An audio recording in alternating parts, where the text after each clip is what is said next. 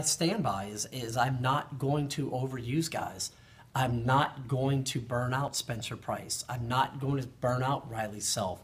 Those are the two guys that have been locked down in the back end of the bullpen for us, but you can't go to those guys every single day. I'm not and will not overuse those guys. So other guys on our staff have to be able to step up and carry those innings and have to be able to go get guys out. I mean, I want to do everything I can to prolong guys' careers and, and allow them to pitch into their 20s and have long professional careers. And the last thing I'm looking to do is to go to the whip on these young arms the first 20 games of the year and just use them and use them and use them. I'm not going to do that. So it creates opportunities for other guys to be able to go get outs, to be able to go get innings. And when they have their opportunity, they need to make the most of it. So guys are earning jobs and, and, and getting outs and, and showing me what they can do.